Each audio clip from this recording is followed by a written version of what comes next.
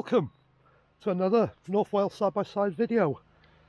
Again, star of the show is my 2020 Yaris Dynamic Hybrid.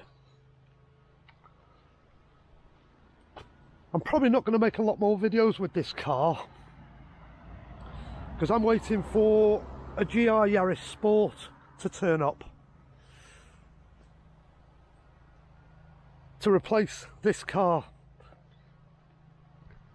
This is a September 20 Yaris Hybrid. I've had it from brand new. I've put 41,000 miles on this car. It's been absolutely amazing.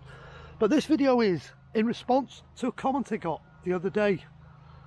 In response to another video I made. Ooh, when this car I probably had 19,000 miles on it and I had an engine management light come up. And the question was where is the OBD2 port on a Yaris Hybrid? Considering mine's right hand drive and I'm in Britain I suspect on the left hand drive ones the OBD port is going to be mirrored onto the other side of the car but I'll show you on my right hand drive car.